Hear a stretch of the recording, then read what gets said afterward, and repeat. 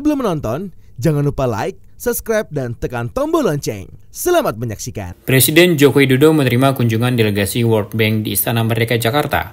Pertemuan tersebut membahas berbagai isu terkait perekonomian Indonesia dan berbagai program yang telah dijalankan oleh pemerintah.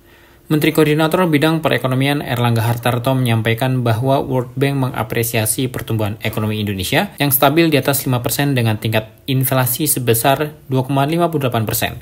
Selain itu, World Bank juga mengapresiasi sejumlah program yang telah dilakukan pemerintah Indonesia. Seperti disampaikan Menteri Koordinator Bidang Perekonomian Erlangga Hartarto dalam keterangannya usai pertemuan. Selain itu, World Bank juga mengapresiasi program penurunan stunting yang dilakukan oleh pemerintah Indonesia melalui program Early Childhood. Presiden menyebut bahwa terjadi penurunan angka stunting di Indonesia dari 37% menjadi 21%. Penurunan tingkat kemiskinan ekstrim dari 6,2% menjadi 0,8%. Dalam pertemuan tersebut, Presiden Jokowi juga menekankan pentingnya resiliensi pangan dan energi hijau untuk masa depan Indonesia. Menurut Presiden, Indonesia memiliki program terkait dengan energi bersih antara lain hidrosolar geotermal. Presiden juga mengingatkan bahwa transisi energi perlu mempertimbangkan harga yang terjangkau bagi masyarakat. Oleh karena itu, multiple source of energy dengan transmisi yang terkonektiviti antar pulau diharapkan dapat membuat harga yang terjangkau bagi masyarakat. Tidak hanya itu, Presiden Jokowi turut menyoroti pentingnya pengembangan sumber daya manusia, serta dukungan untuk usaha kecil dan menengah. Delegasi World Bank juga mencatat berbagai program untuk mendukung infrastruktur listrik dan praktik terbaik yang telah dilakukan di negara lain seperti India. Terakhir, Erlangga mengatakan bahwa Presiden Jokowi mendorong kebijakan penanganan keberlanjutan, termasuk pengembangan nursery untuk tanaman dalam skala besar di tanah air. Di antaranya adalah di ibu kota Nusantara dan Bali. Uh, tadi Bapak Presiden uh, menerima Managing Director dari uh, World Bank, Ibu Ana, didampingi oleh uh, World Bank Jakarta dan dalam pertemuan tersebut uh, World Bank mengapresiasi pertumbuhan ekonomi Indonesia yang stabil di atas 5% dan dengan tingkat inflasi yang rendah. Nah, uh, World Bank mengapresiasi pertumbuhan kita yang 5,11 dan inflasi 2,58 dan World Bank mengatakan pertumbuhan uh, ekonomi global tahun ini sekitar 2,6 sampai dengan 2,7 dan juga uh, diperkirakan pertumbuhan tahun depan juga di bawah 5 persen, sekitar 4,8 persen. Namun pertumbuhan Indonesia tidak termasuk yang rendah, jadi pertumbuhan Indonesia tetap sekitar 5 persen.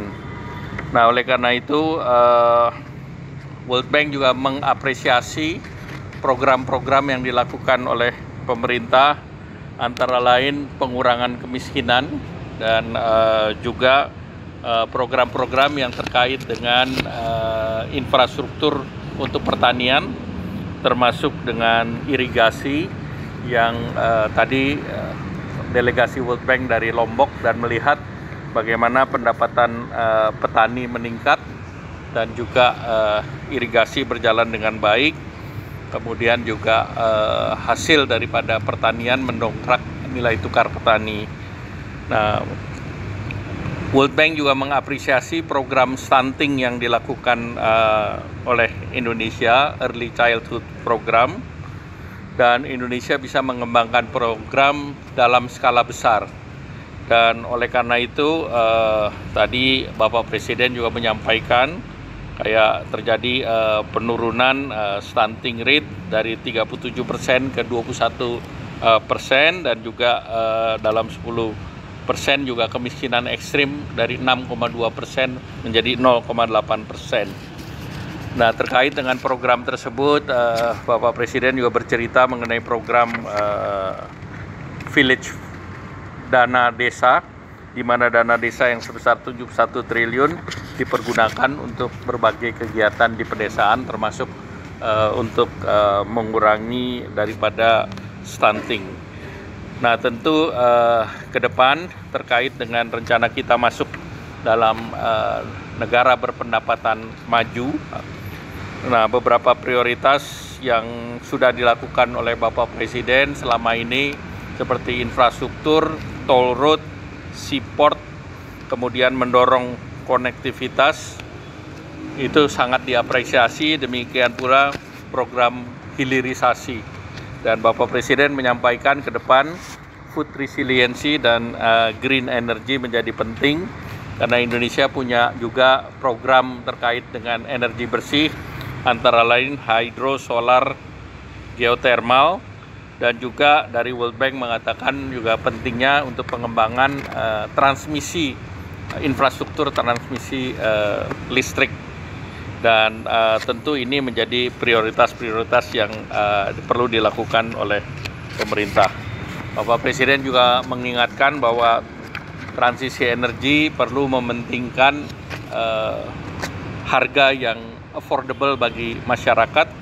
Oleh karena itu, multiple source of energy dengan transmisi yang terkonektiviti antar pulau tentunya uh, diharapkan bisa membuat harga bisa dinikmati oleh masyarakat. Nah, tentunya uh, berbagai uh, subsidi yang dilakukan oleh uh, pemerintah juga uh, tentunya ke depan uh, subsidi ini akan ditujukan kepada mereka yang uh, berhak.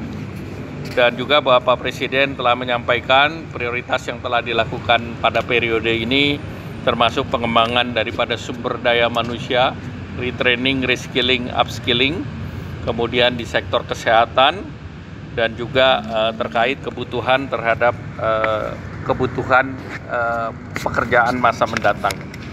Bapak Presiden juga menyampaikan uh, 64 ribu dari small and medium enterprise itu bisa mengakses daripada Green Credit Scheme dan ini dilakukan juga melalui mekanisme kredit usaha rakyat dan ini mendapatkan pembiayaan dari IBRD World Bank itu sebesar 500 juta.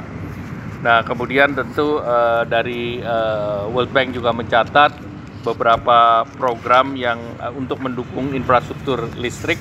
Ada beberapa uh, best practice yang dilakukan di India, di mana India juga bisa mencari fund sejenis PLN, namun fund tersebut uh, di backup atau didukung oleh World Bank.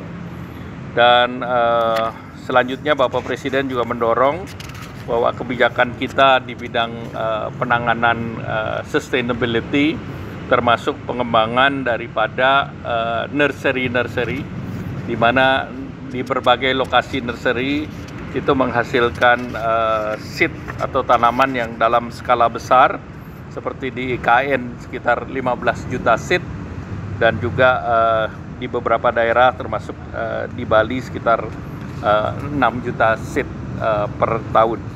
Oleh karena itu uh, dari World Bank merasa bahwa program yang dilakukan oleh Indonesia adalah program yang sifatnya masif, skala besar dan juga uh, dengan masif dan skala besar itu diharapkan bisa menjadi percontohan untuk negara-negara lain di luar Indonesia. Turut mendampingi Presiden dalam pertemuan tersebut adalah Menteri Koordinator Bidang Kemaritiman dan Investasi Luhut Binsar Panjaitan, serta Menteri Koordinator Bidang Perekonomian Erlangga Hartarto. Sementara itu, delegasi World Bank yang dihadiri adalah Anna Bier, selaku Managing Director of Operation World Bank, Manuela Vivero, selaku Regional Vice President, Caroline Turk, selaku Country Director Indonesia and Timor Leste, serta Shena Bosako, selaku Director of Operations. Tim Eljon Media melaporkan.